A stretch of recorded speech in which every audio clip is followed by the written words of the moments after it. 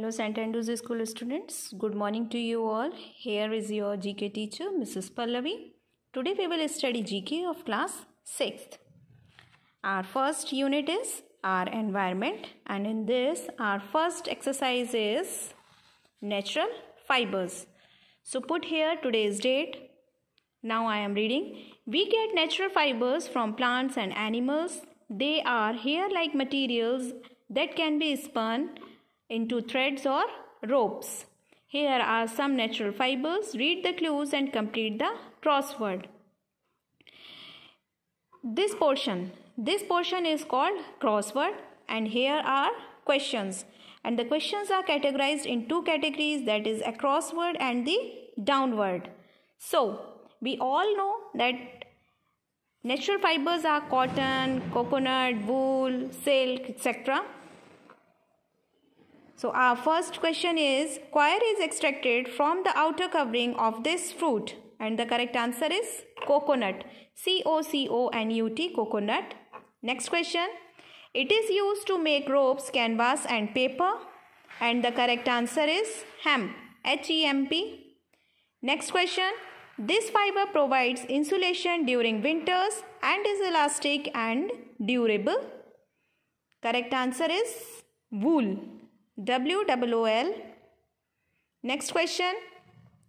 It is created by a worm and it is a continuous thread of great tensile strength. Correct answer is silk.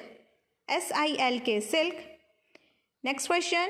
It was the first fiber to be harvested, spun and woven into textiles. And the correct answer is flax. F L A X flax.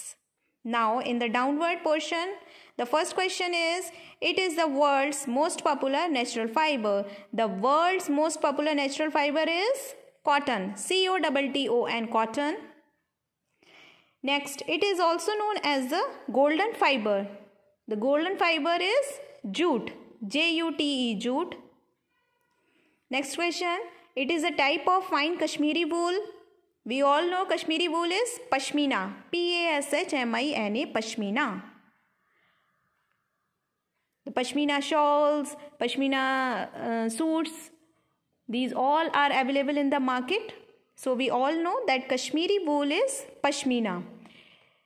Now here we have completed our exercise number 1. Then turn over the page. Our next exercise is plant adaptation. Now I am reading. Adaptations are special features that allow a plant to live in a particular place or habitat. Plants adapt to their surroundings in order to survive in different types of environment.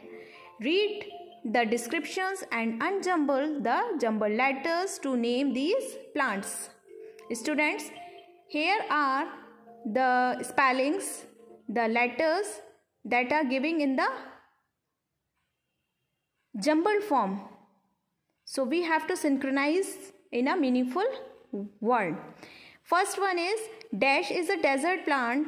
Its tissues are special as they can retain water during the day. Its stomata remains shut so that no moisture is lost at night. They open and absorb the carbon dioxide needed for photosynthesis the following day by tying it up chemically.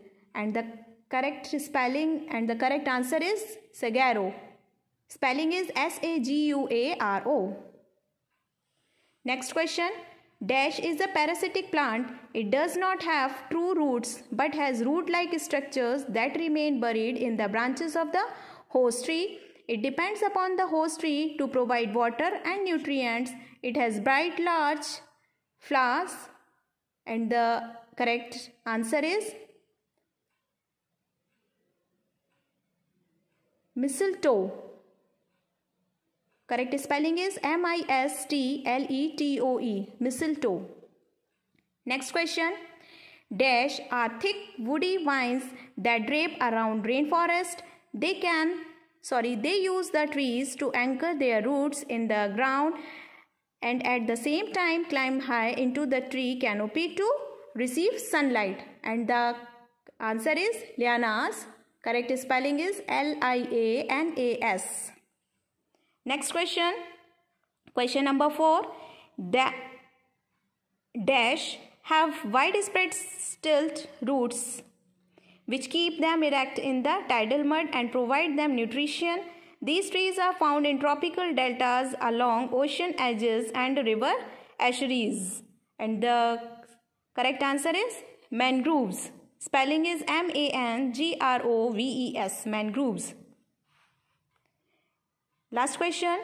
The dash can survive long period of heavy drought by curling up and appearing dead as soon as little water is available.